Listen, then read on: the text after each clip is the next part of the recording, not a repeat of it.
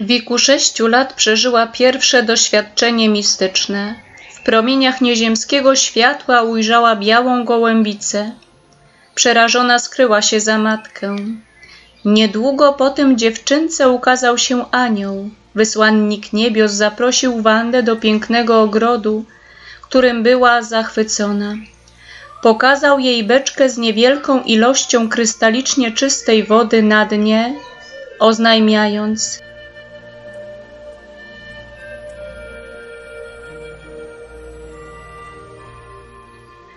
że ów naczynie ma napełniać przez całe życie. Zapamiętała, że wydarzenie to zbiegło się ze świętem w niebowzięcia Najświętszej Maryi Panny, które, jak później to podkreślała, było jej ulubioną uroczystością kościelną.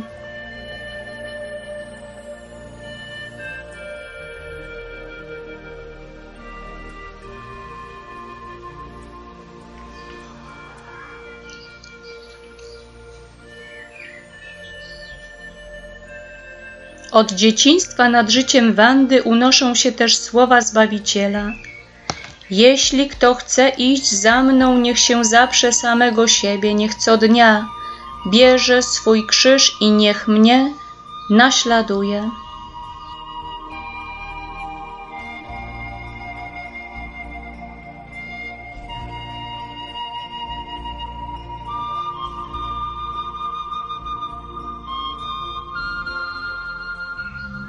Dziewczynka całym sercem chciała podążać za Jezusem.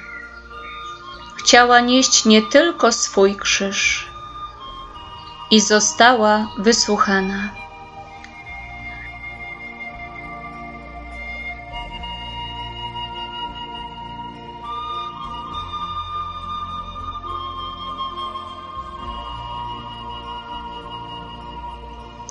1948 roku zachorowała nagle na chorobę Hajnego Medina. Pierwsze symptomy tego ciężkiego schorzenia wystąpiły 15 sierpnia, w ten sam świąteczny dzień, w którym sześcioletniemu niegdyś dziecku Boży Anioł ukazał drogę życia. Odtąd 22-letnia Wanda została przykuta do łoża boleści na ponad 40 lat.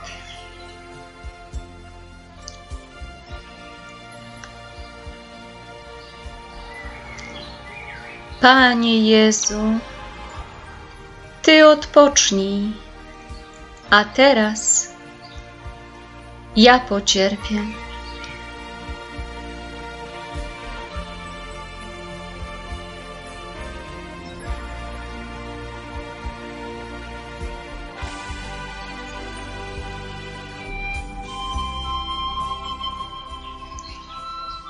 Tym, co utrzymywało siostrę Różę przy życiu, był Chrystusowy krzyż.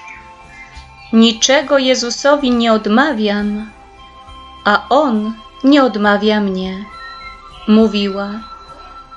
Każde cierpienie lub upokorzenie nazywała pocałunkiem Chrystusa.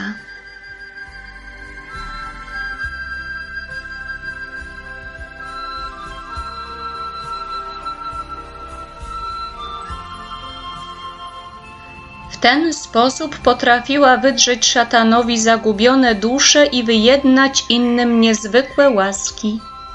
Uzdrowienie z najcięższych chorób lub szczęśliwe rozwiązania dramatycznych problemów życiowych. Jej specjalnością stało się wypraszanie daru macierzyństwa.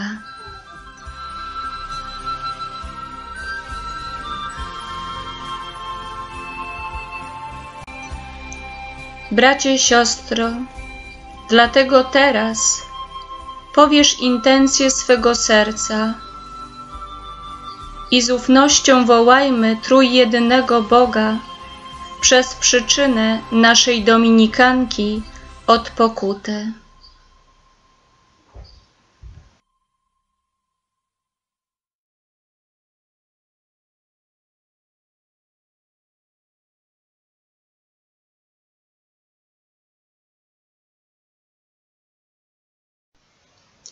Boże w Trójcy Świętej jedyny, uwielbiam Cię za wszystkie łaski, którymi obdarzyłeś siostrę Różę Wandę.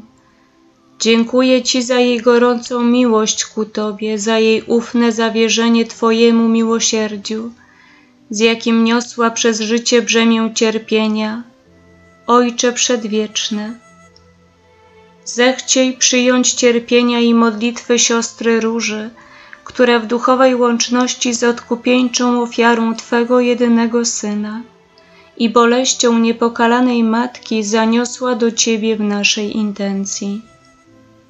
Boże miłosierny, jeżeli jest to zgodne z najświętszą wolą Twoją, racz za jej wstawiennictwem udzielić mi łaski,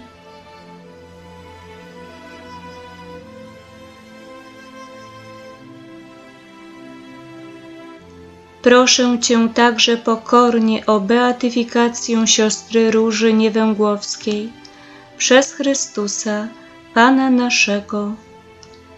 Amen.